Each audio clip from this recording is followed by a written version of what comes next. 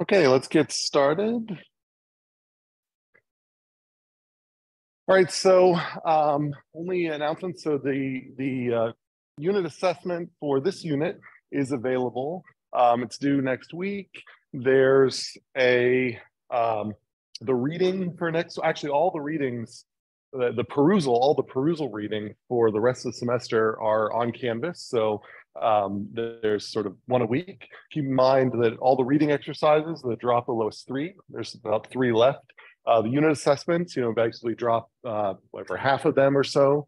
Um, so there's very few of these assignments left, and we're starting to get into the things where you can start making decisions about uh, whether you just want to take it as a drop or or complete it, uh, you know, completely. So if you're already feeling pretty good about your grade, then you may not have to put a lot of effort into these.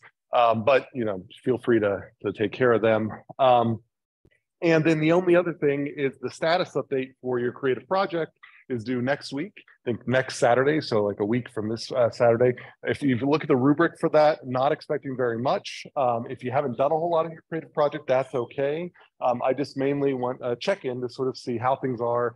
If things have significantly changed, what did you change? Uh, just so I have a chance to reassess. If you'd say, well, it sounds like the thing that that I thought was going to work was going to work, and now I'm doing something else just I have a quick chance to say, hey, that that sounds a little too ambitious. Maybe we can dial it down, or or um, or uh, you know, make sure you uh, you know uh, make it clear with what um, principles from the course that you're emphasizing, so on and so forth. So that's kind of what the status update is all about. It's not meant to be a high stress assignment. Um, it's just mean to begin kind of like tell me where you are on things and how you plan to go forward. And then for those creative things, um, I just want to make sure that whatever you're doing, demonstrates kind of a mastery, a personal mastery of something in the course. So there's a bunch of ways to get there, but um, but it has to be a coherent example uh, that demonstrates that you have picked something up from the course and made it your own, and in a way that could be shared to someone else.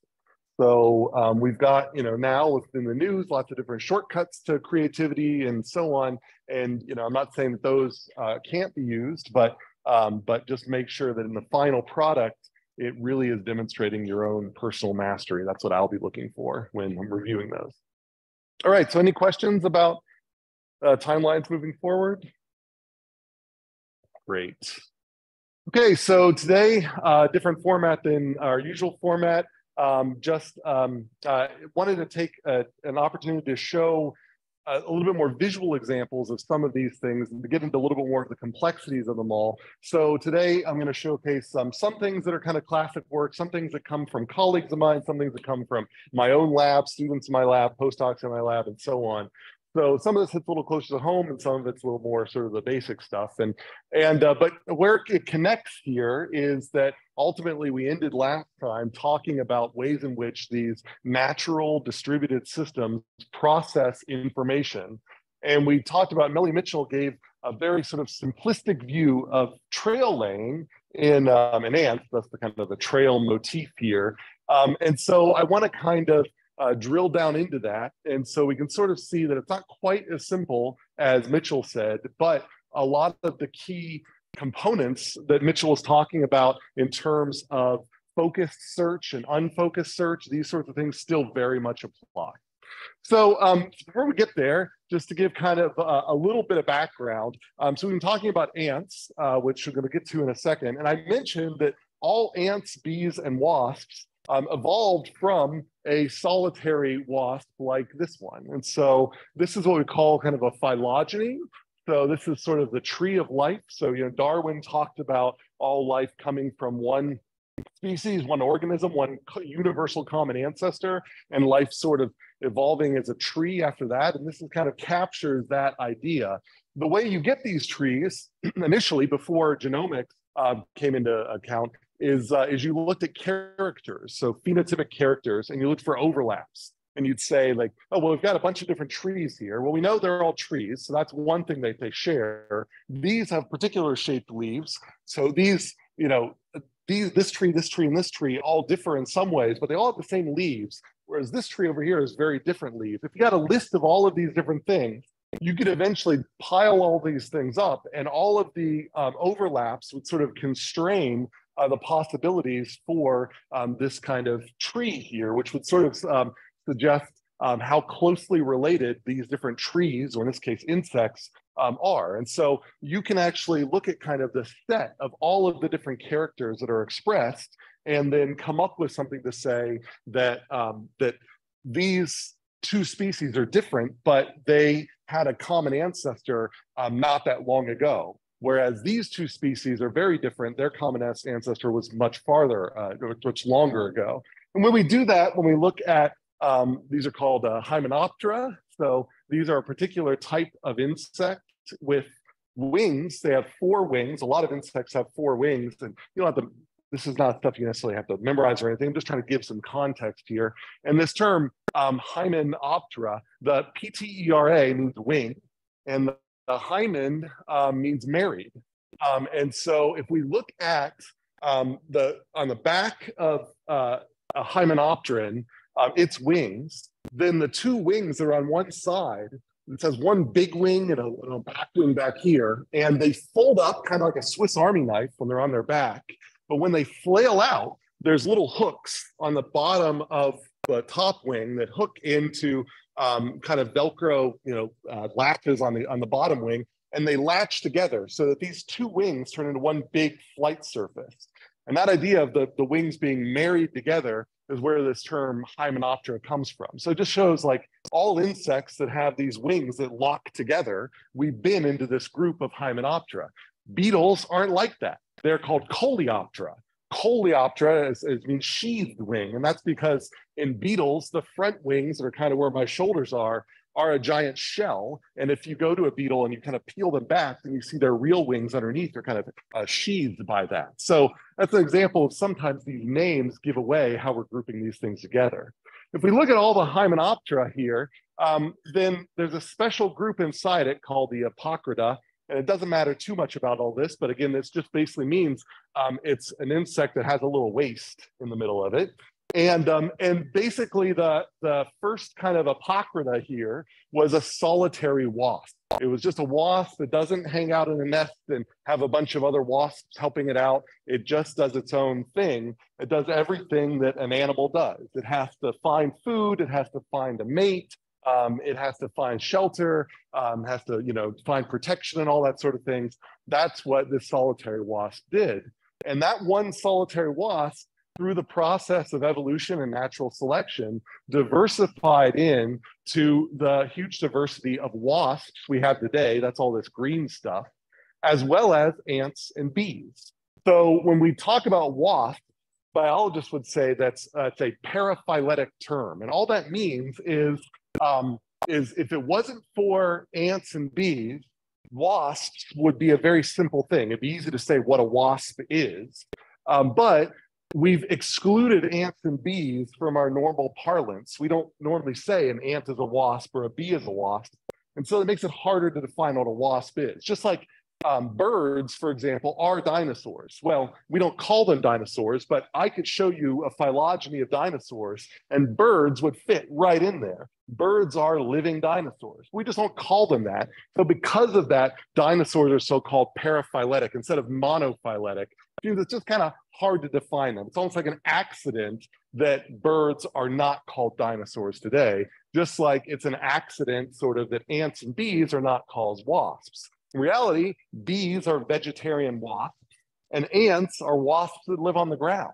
And um, so, but we just don't call them that. So all of these evolved from a solitary wasp like this little ichneumon right here. Um, and um, some of them are social and some of them aren't. Kind of the, kind of the cool thing about it is even though bees, wasps, and um, ants all have sociality, they didn't evolve from the same sociality. It turned out that bee sociality evolved independently of wasp sociality, which bonded, uh, evolved independently from ant sociality.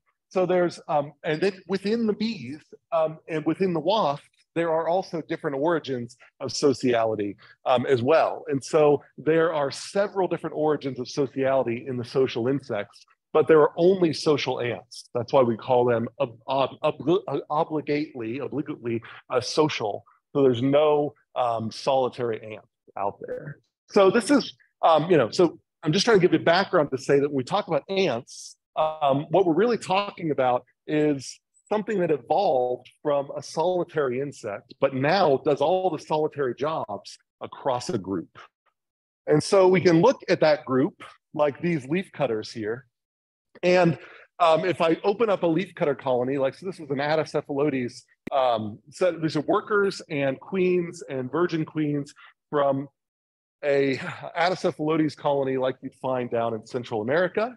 And we actually have a closely related leafcutter here in Phoenix. Uh, it goes by the genus Acromyrmex. You used to find them around Phoenix, but now with urbanization, they've kind of been pushed out. If you've ever gone out to Boyce Thompson Arboretum, which is about a half hour, 45 minutes to the east of Phoenix, you can still find these hanging around. If you go down to Tucson, they're a lot easier to find.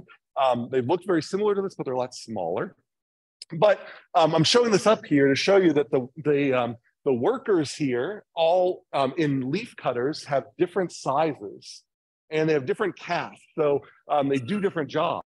So like this one here, this big one here, um, it has these big mandibles that can be used, you can imagine, for defense or whatever, but it turns out that these leaf cutters cut leaves and there are these ants that have specially sort of special heads that, that, act like scissors. They turn to the on the 90 degrees and then they chop like scissors and they they anchor like a compass. They anchor their back feet at the tip of the leaf and then they cut in a circle like a compass and you get these little circular cuts out of leaves that they carry back to their nest, uh, leaf cutter ants.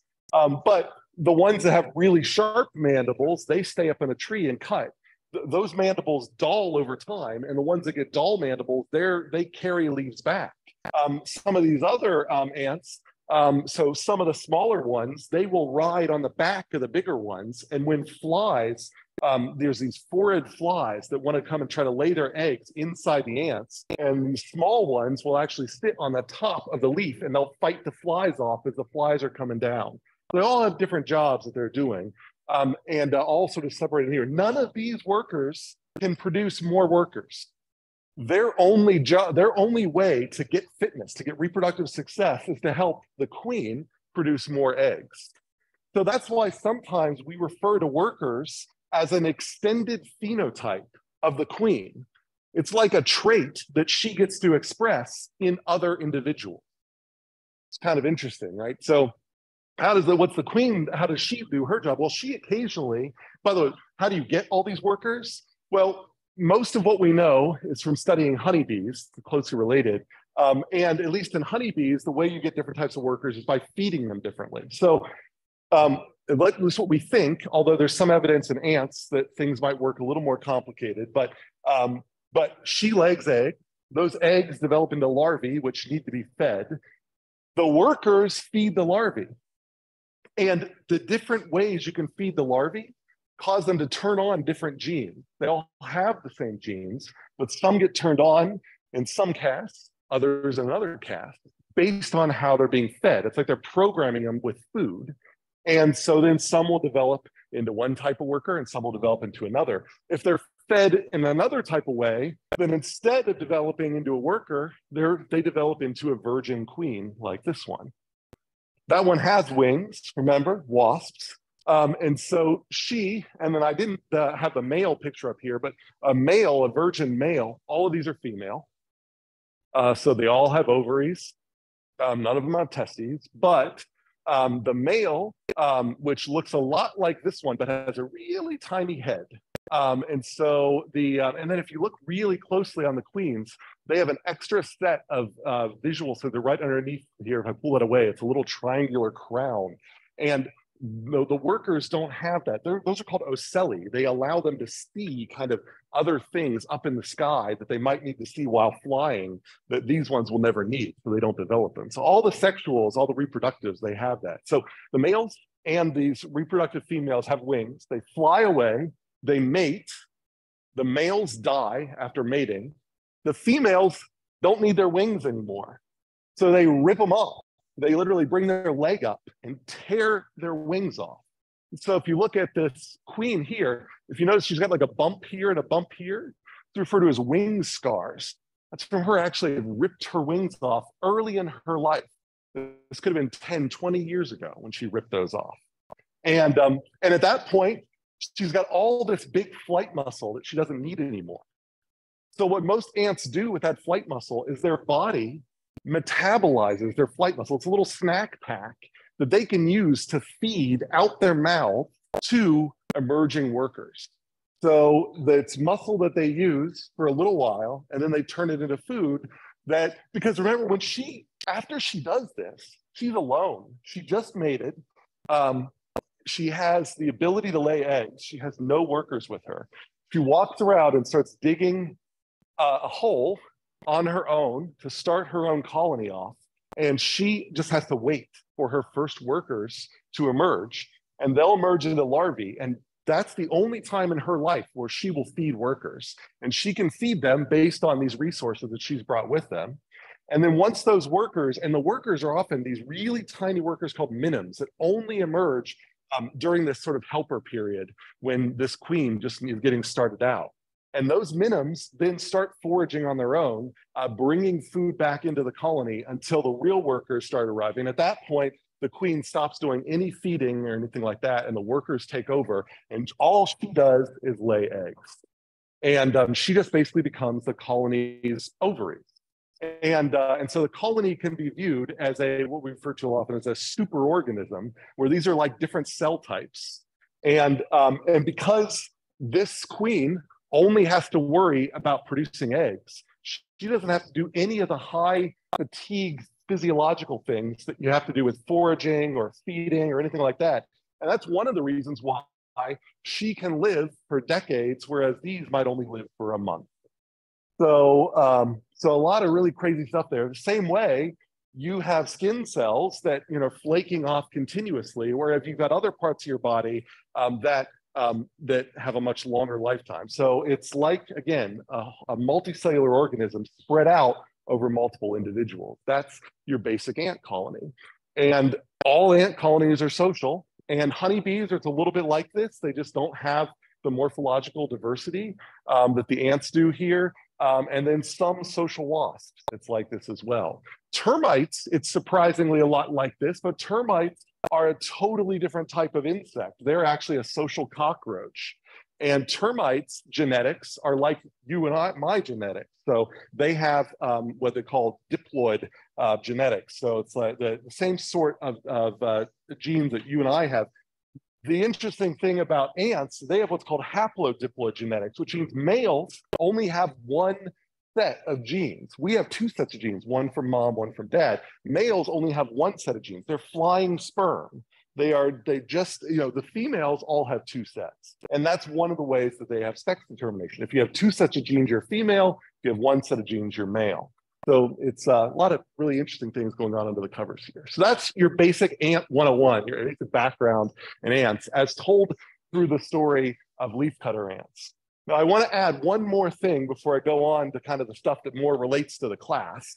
But like I said, I picked leaf cutters here. Um, leaf cutters are, are particularly weird ants because they do all this foraging, they cut leaves, but they don't eat the leaves. Does anybody know what they actually do with the leaves? Anybody heard about leaf cutters before? Yeah. They grow fungus with it. That's right. Leaf cutters are fungus farmers.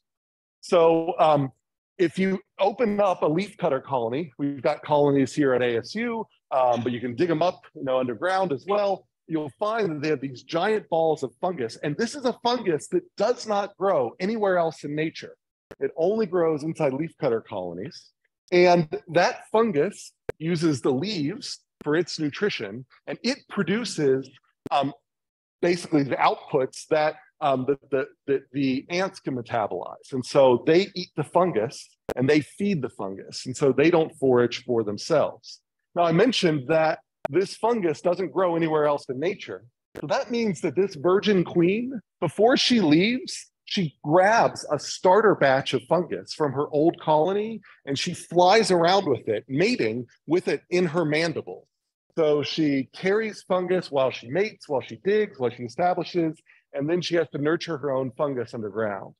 And um, because again, that fungus isn't growing anywhere else, she can't find it anywhere else, and then it has to grow up into its own thing. So that's unique to these fungus farming ants, but it's the evolution of farming. It is a monoculture as well, just like corn is a monoculture for us. And they have all the same problems that we have with our monocultures inside there. So, um, you know, anything you've heard about like, oh, worried about the, the liabilities, you know, it's, again, it's the adaptive cycle. They've specialized on one fungus and that's made them vulnerable, just like we've specialized on certain foods and that's made us vulnerable. So we can study that by studying them.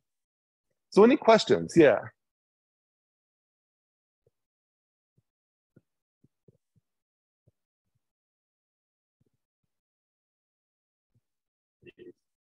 Yeah, if if if you kill the fungus, you kill the colony, um, and they, they just can't recover from that.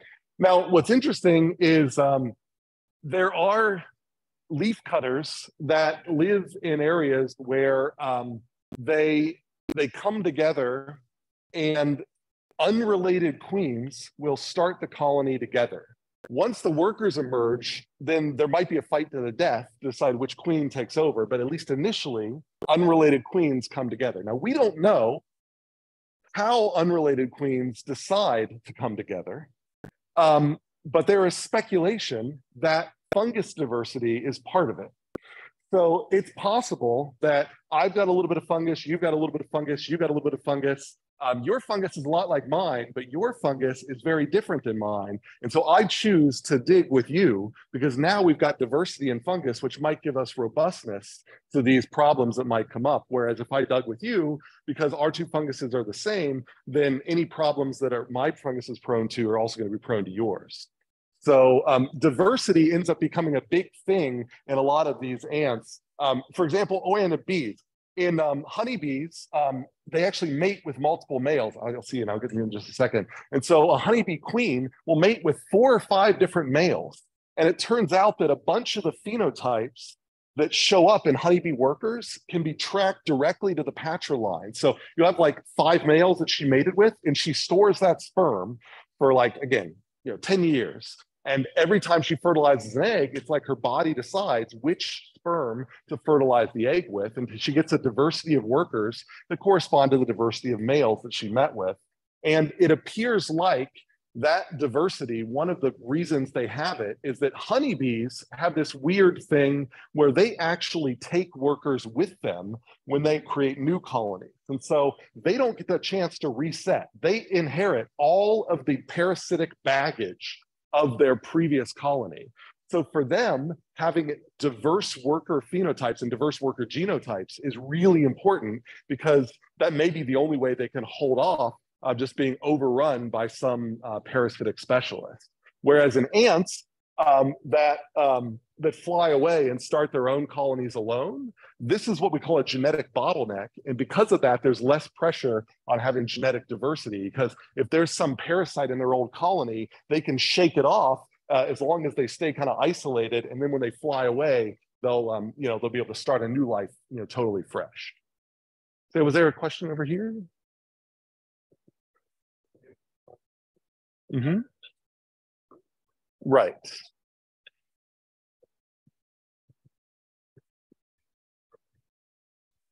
Well, it's kind of it's kind of both. I mean, like the, these these cavities are so constrained that you get these fungus chambers where it's just like a whole lot of fungus and it doesn't necessarily stay partitioned up. Um, now, there's a lot that isn't known. It is maybe possible that they they set up that as they start digging, they create separate chambers, and, and I don't think we've people have done the genomics to actually test that out. But it's my speculation from raising these in the lab and things like that that they're just all mixed together. Yeah.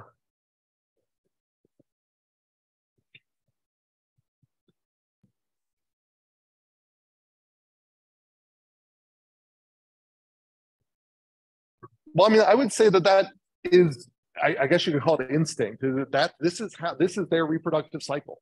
You know, that is like just like um, you inherit some of your microbiome from your mother, um, uh, from having been in her womb um, and being expelled from her body. Then uh, the microbiome that you pick up is very similar to the microbiome that she picks up when she takes a piece of fungus with her. It's just it's you know it is a behavior that is um, you know it it you can imagine that uh, initially there were fungus growing ants that um, used fungus from the nature. There are fungus growing ants, other species that use fungus that's out in nature.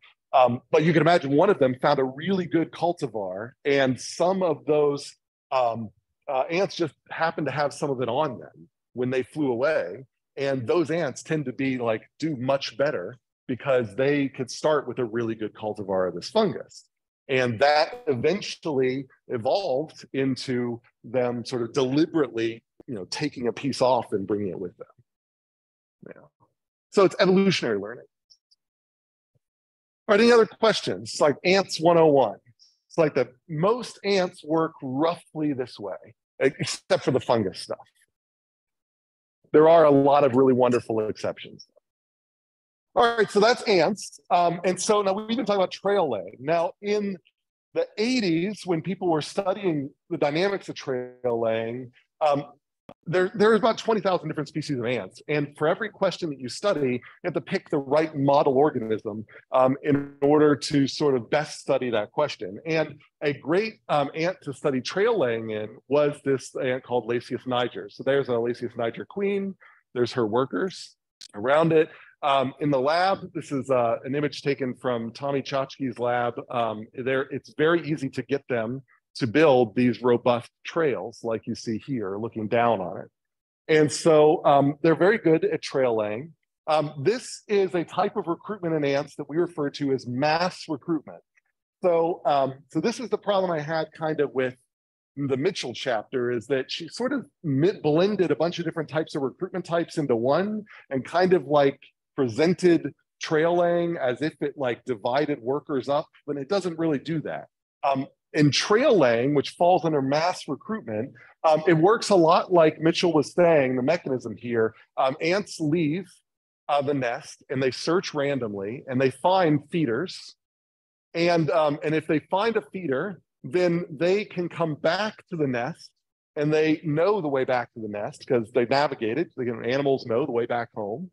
Um, and they can then lay down a trail um, coming back down to the nest here. And if, um, as new ants leave this nest, they will be, their, um, their antennae will pick up a bit of that trail and they'll have a, a tendency to head toward that um, feeder. And then they, after receiving that feeder, will then uh, do a trail back down to, the, to this direction. And gradually that trail gets reinforced eventually the concentration gets so high that when ants um, leave the nest, they just can't ignore that it's there. And they just, there's no random search anymore. They pretty much just follow the trail. And eventually you get all of your foragers in one feeder. And that's referred to as mass recruitment. So generally trail laying falls under mass recruitment and you get ants that just go to kind of one feeder. All effort is directed to exploit a single uh, feeder. Now, you'd say, well, what's the adaptive value here? The, there's a hypothesis that uh, mass recruiting evolved because it's in particular in ants where you have multiple types of ants that are required to, to process a, a discovered food. And you need at least a certain number of each type. And so rather than trying to get like recruit five of this type, five of this type, five of this type, you just bring all of your foragers to one place and you're guaranteed to have enough. So that was one sort of thought there. And um, if there's a lot of food sources here and they're all pretty good and pretty equivalent, then you just forage on this one until it's all gone. Then the trail goes away. And then if you're still hungry, then you find a new one and forage on that one until it's all gone. And so it's not that big of a deal to kind of choose um, you know, I mean, you wouldn't choose the best if there's multiple options, but as long as you just find the best, um, there's no worry that it's going to stop being the best, you know. And so you just bring all your foragers to the best one, you exploit it maximally, you come back if you're still hungry, you go to the next best. That's how mass recruitment works. So there are questions on this basic idea of trail laying. This is sort of what we talked about last time. It does not divide resources between the feeders. It concentrates them on the best feeder. Yeah.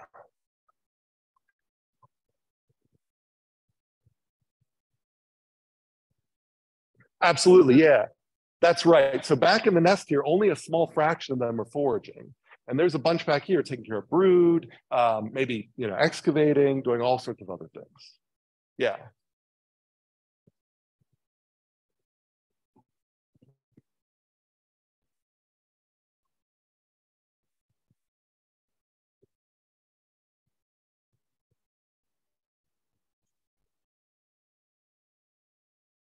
Right. So that, that she was talking about encounter rate, uh, and, and they regulate, yes. And so that's what I haven't really talked about here. We will see um, a little bit of that later on here, but but yeah. So if if demands are constant, then you get sort of like a fraction of ants. In reality, um, like ants inside the nest, they're switching between multiple tasks, but they might spend 75% of their time taking care of brood and 25% or maybe 10% of their time, the, the other balance doing a couple of other tasks. But if a demand increases, then um, you know, like they let's say they start noticing that there's more food coming in. Um, if there's now um, so a bunch of ants when they bring back food and bees as well, um, they need to hand it off to another ant. And if there's a bunch of ants waiting to hand their food off, then that can induce a bunch of the processing ants to, um, or a bunch of ants that aren't processing food to shift away from what they're doing and start processing food. And so that's kind of what Mitchell is talking about is like how your encounter rate with um, ants that are carrying food, ants that are not carrying food, ants that are um, sitting alone, your encounter rate with food that's not being handled by an ant.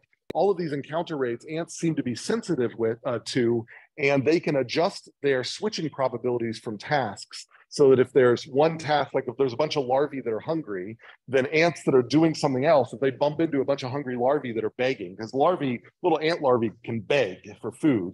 So if there's a bunch of larvae that they look like little commas and the little commas, little mouths, and they can kind of like beg for food. And if there's a bunch of these little larvae that are begging for food and they're not being, then you can get ants that weren't taking care of the, the, the those larvae shift into primarily taking care of those larvae. So you can get shifts in task allocation. Yeah.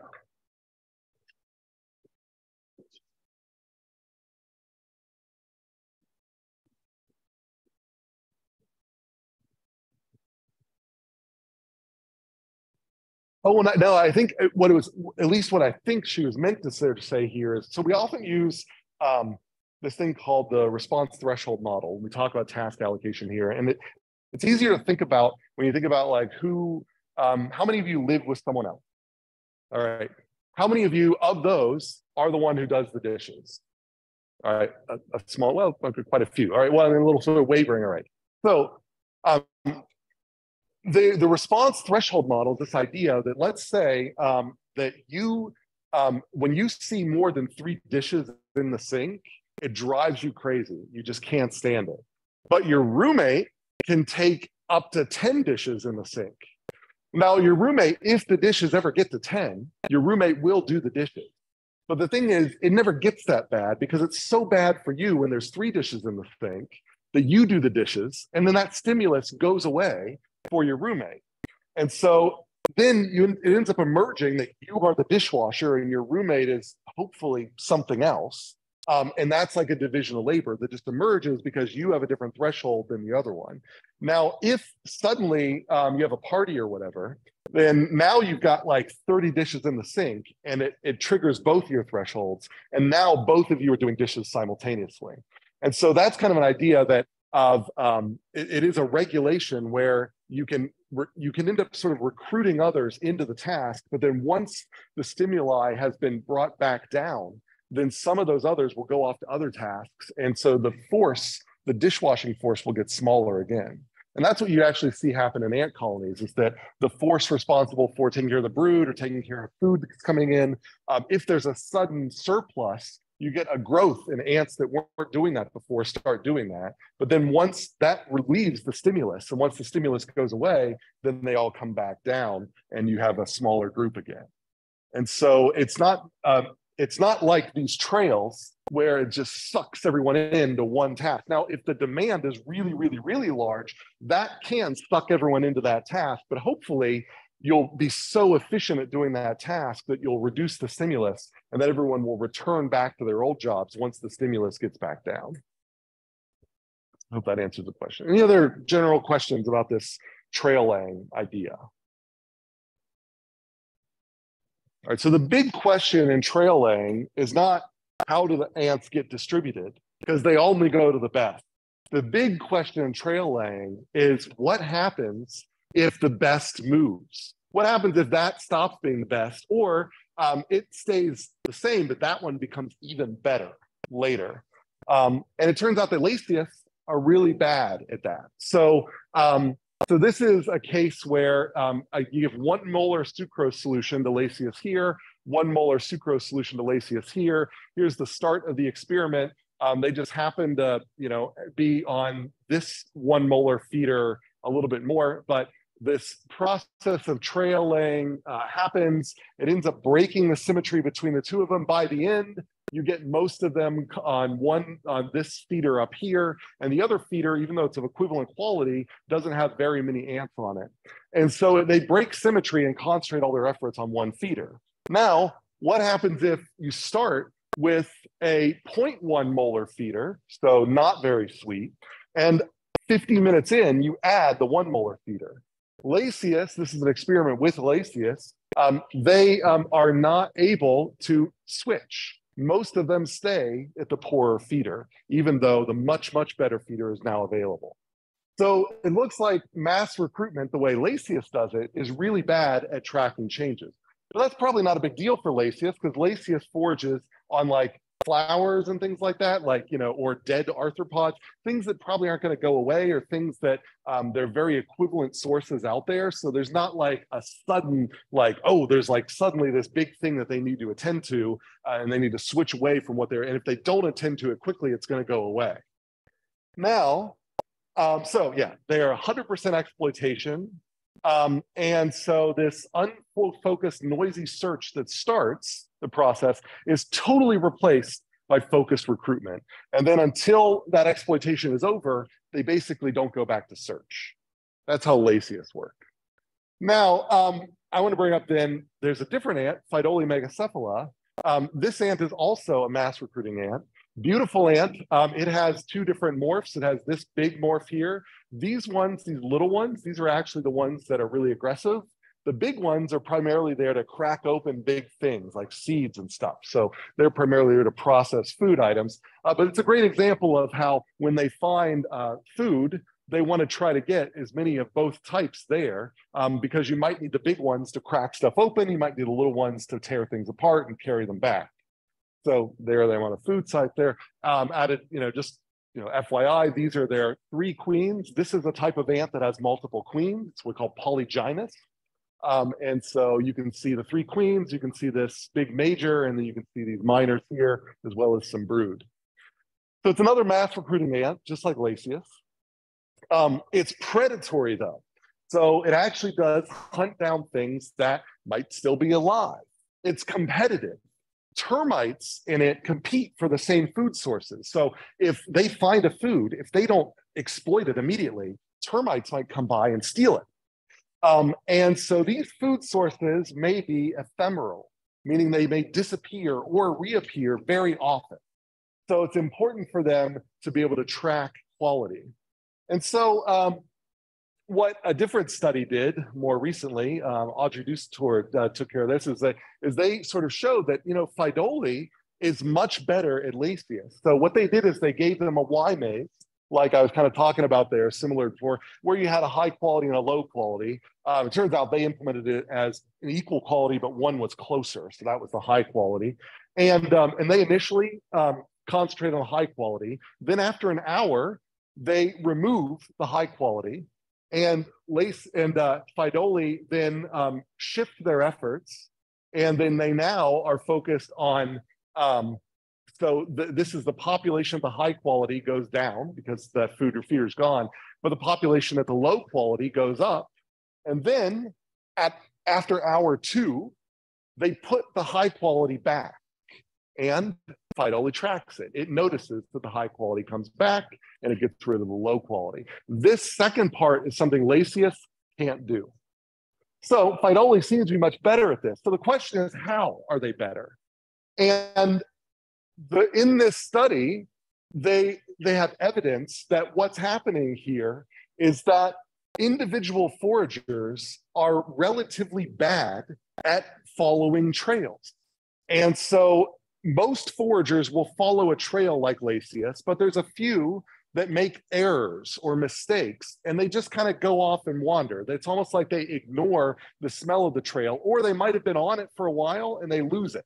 And then once they lose it, they can't find it again. And then they just start searching. And alone, you might think that this is some sort of problem with Pheidole.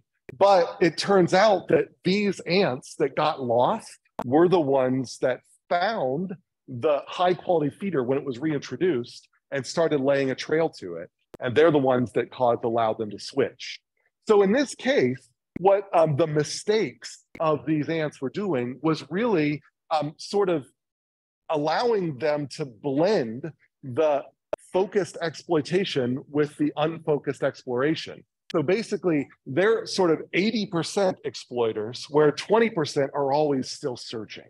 And that ability to keep the searching going, keep the exploration going, is what allows them to be more dynamic and makes them a little slower at maybe reaching consensus on one particular site, but it allows them to track these sites. And so if there's uncertainty in your environment, the rule that we're getting here is you maybe should introduce uncertainty in your recruiting style.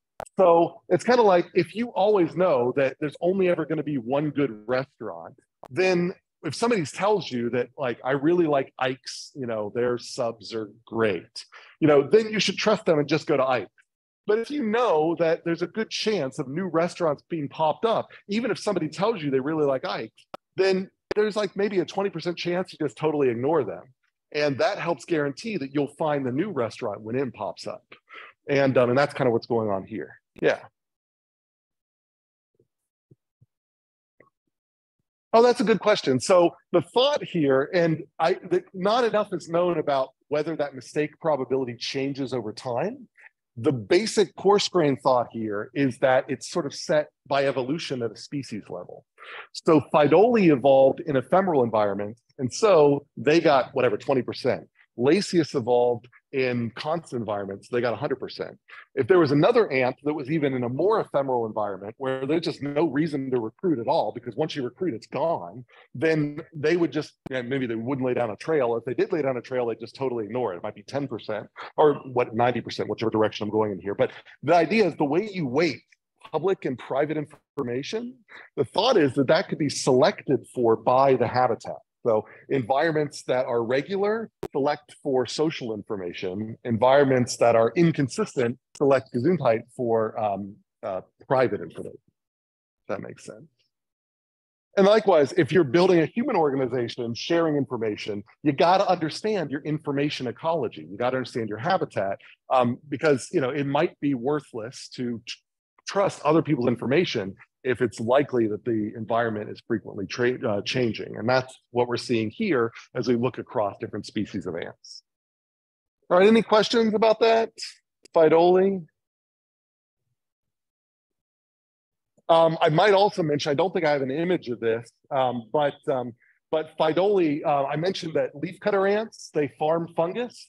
Pheidole have husbandry. They actually collect these little aphids, these other types of insects, and they move them around on plants and the aphids suck out honeydew and then the um, and then the pheidole um, and um, oh i'm sorry i meant uh, the lasius lasius um, then can suck up the honeydew. So and actually several different types of ants that do this is that so there's farming as well as um, sort of again husbandry um, uh, that is evolved in ants you know two sort of forms of agriculture um, so it's kind of interesting thing. Little cows, basically aphid cows that they milk.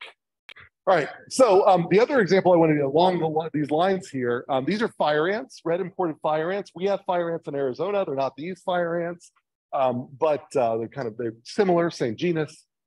Um, and Ed Wilson, kind of a famous biologist, um, met was was inspired by that Haldane and Spurway paper that used information theory to study honeybees. And he did that to study pheromone trails in fire ants. And, um, and so he basically, uh, these are example traces of trails. So basically he had a sugar bait that he put out. He waited for an ant to get to the sugar bait. Um, he let the ant lay a trail. He removed the bait and then he watched ants follow that trail. And these are example paths where they would all go out. I think the dotted line is them going out, and there wasn't a sugar bait, so it eventually turn around and they come back.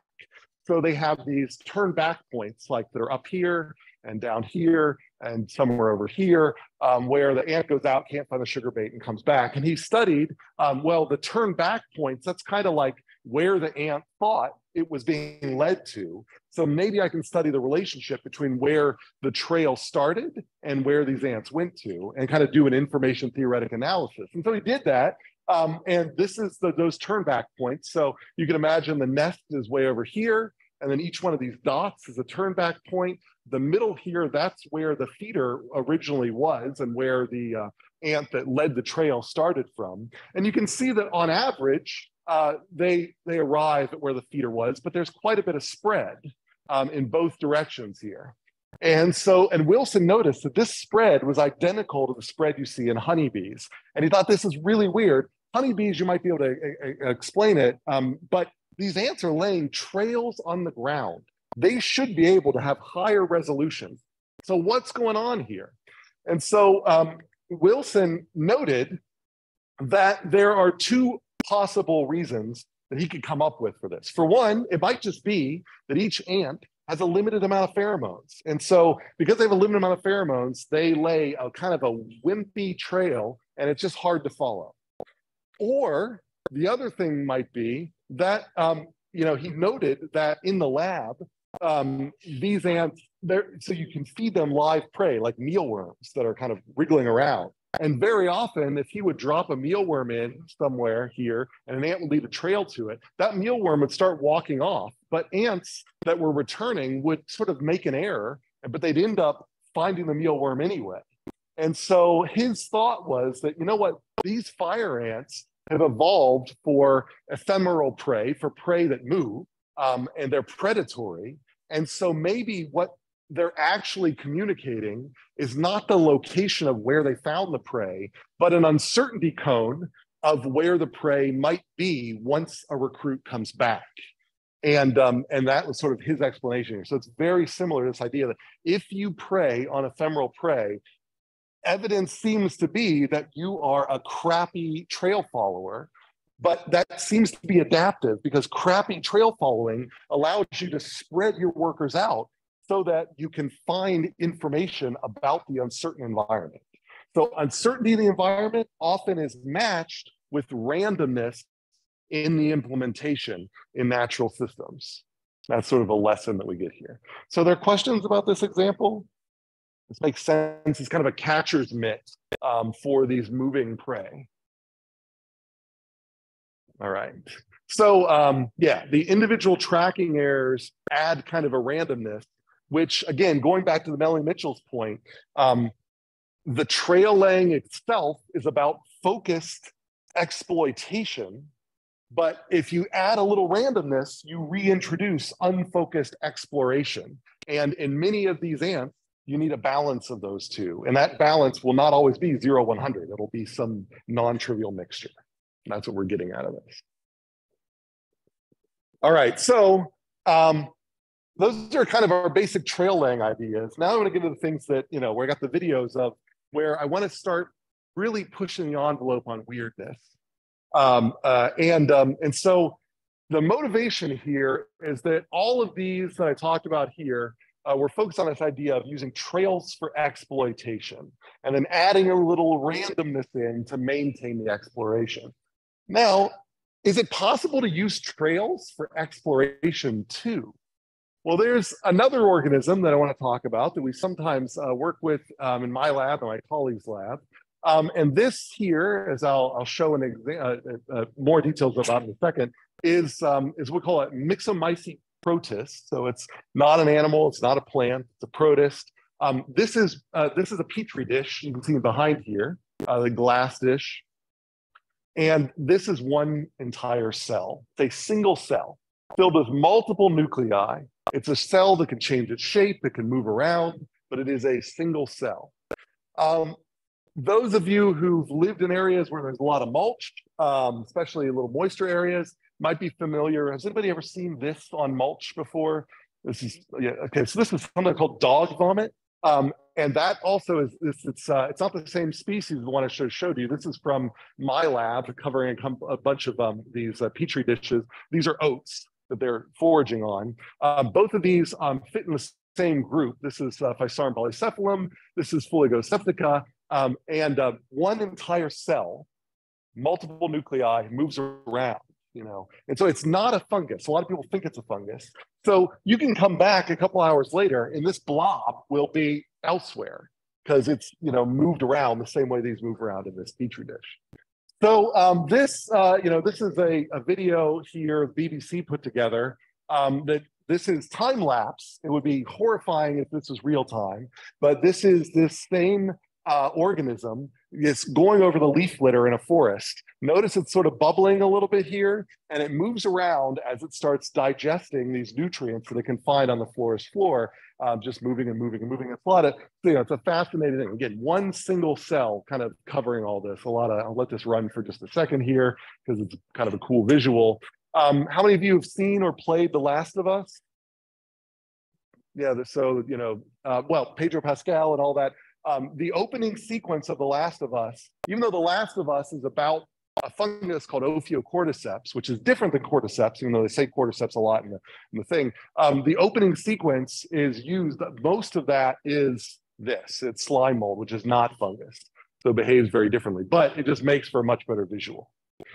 All right, so um, other cool things you can do with slime mold. So this was done by a colleague. Um, I'll start this video in a second, but this is a little tiny bit of slime mold, and this is a nutrient source. This is a wall, a U-shaped wall right here. And, um, and so what the, uh, if I can do this with this guy. All right, I guess I'll just go and do it over here. So, um, so what's gonna, what you're gonna see here in a second is this slime mold will start moving. It will move into the trap, but then it'll find its way out of the trap and it will eventually and very quickly find its way to the food source. So it spreads out a little bit, bounces around the trap, goes up the trap, around, comes down, finds the food source. Yeah,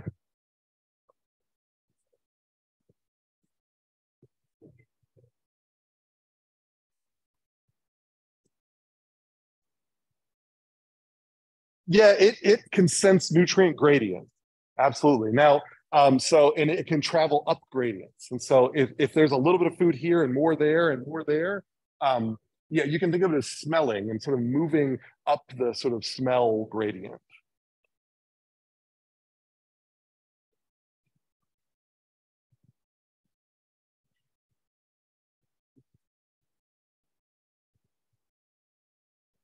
Well, so in this case, there's this agar plate, and there is probably a nutrient gradient that has been induced by the agar just through diffusion, um, right, you know, going through here. And I think that's what's causing the slime mold to move. But there is, um, there's a, this barrier is symmetrical.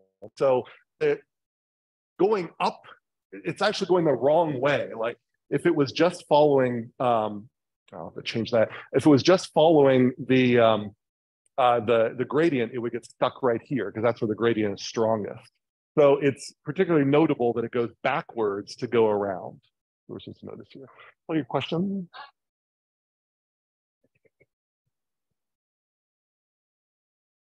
Mm -hmm.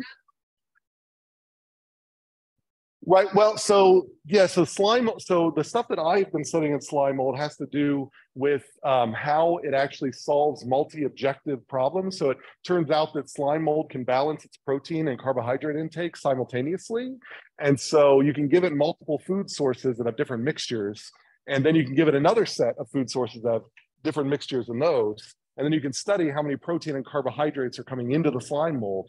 And in both cases, it's the same amount. And so it's able to reallocate itself to have a balanced diet in both cases.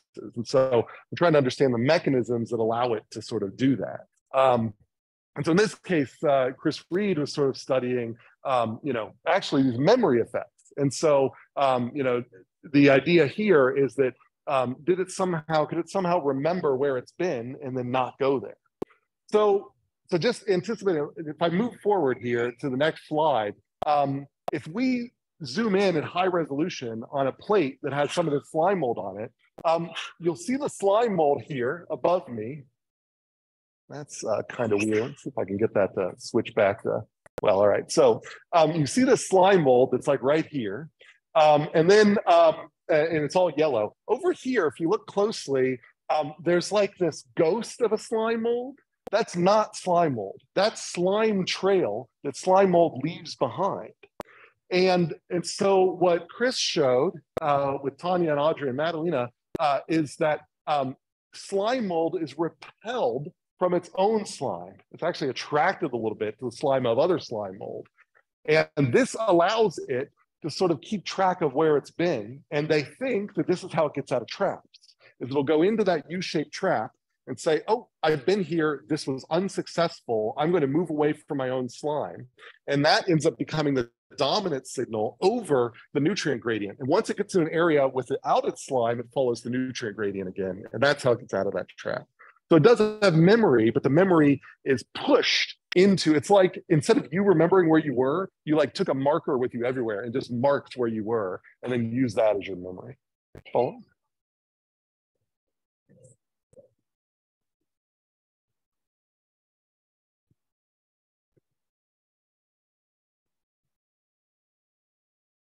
Right. That's right. Absolutely. You can erase its memory by getting rid of these trails. That's right. That's right. But I mean, what is like we have internalized our memory stores so we can take them with us. But so, you know, what is memory? Other questions about this example? This is an example where I like uh, to bring this up to contrast it with the ants because the ants use trails to draw ants together to exploit.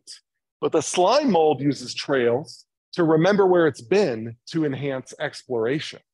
So trails can be used in both ways, just depending on whether attractive or repulsive. All right. So that's cool, slime mold. Um, but that's not all they can do. You can take a slime mold, you can put it in a maze. It will spread out and fill the whole maze um, and just and reconnect into one big cell again.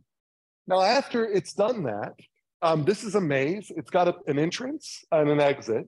And so what you can go now is, um, so entrance and exit. Um, slime mold really likes oats, like Quaker oats. And so you can place an oat at the entrance and you can place an oat at the exit, which we'll see here in a second. And um, the slime mold will react to the sudden introduction of nutrients. And um, and so they're going to speed it up here, again, time lapse a little bit. It starts bubbling, it starts uh, moving toward these oats.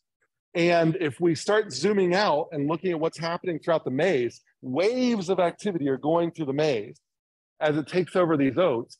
And uh, eventually, what's going to happen is in parts of the maze that are not on the efficient path between these oats, uh, you're going to see the slime retract and go away. And on parts of the maze that are on the shortest path between these two oats, they'll be reinforced. And so I think that's what we're seeing. It's going a little slow. So maybe I'll jump ahead. You can see stuff is, um, is retracting here on, on parts of the maze that aren't there. Um, so if I jump ahead a little bit, then we can see that the slime mold is able to find the shortest path through the maze um, which is kind of a, a, a, supply chain route. This is the, the best way to deliver nutrients from these two nutrient sources to the rest of the cell is by collecting the cell along the shortest path. Yeah.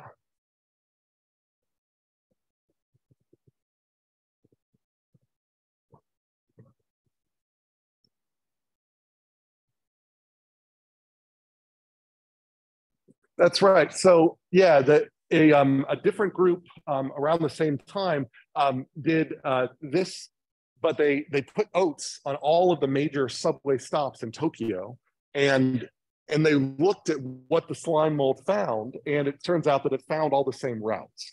And they've done it now in the United States as well. You put oats on all the big cities, and it like reconstructs, uh, you know, the same highways the same highway routes or whatever. So basically, it's able to find these efficient paths that have been deliberately designed by human engineers.